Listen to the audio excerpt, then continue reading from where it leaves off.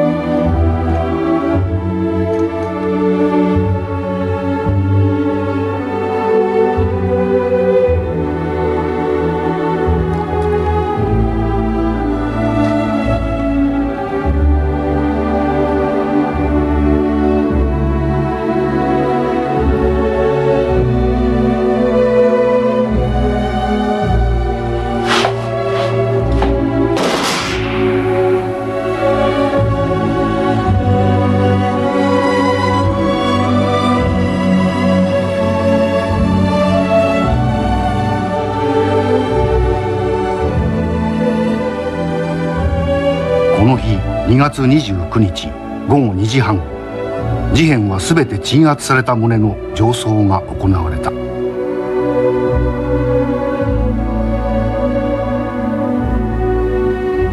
青嵐過ぎて静けき日和かな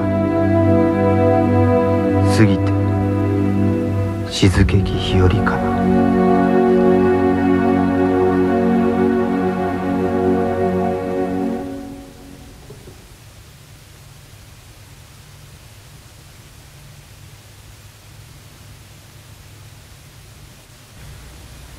囚われた決起部隊の青年将校と民間同士計16名は事件に直接参加しなかった渋川善介西田貢北照次郎の3名。を含め陸軍特別軍法会議で弁護人なし。上告なし。非公開裁判によって全員銃殺刑に処せられた。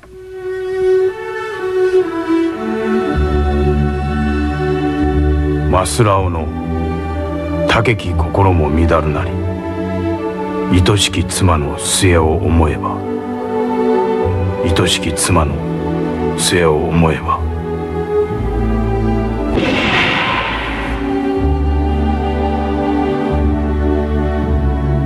死ぬるまで恋女房に惚れ候すみ子今帰ったよ。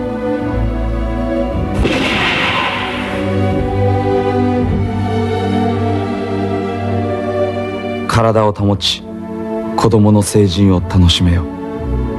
さらば最愛する久子よ。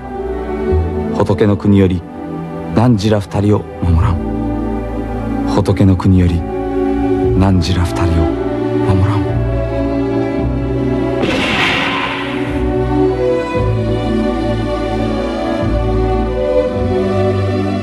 死がやってまいりました。高子の腹巻きにお守りが入っております。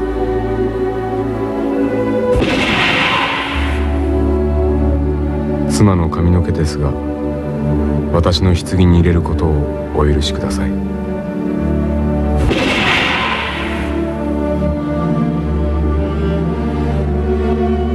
国体を守らんとして逆との名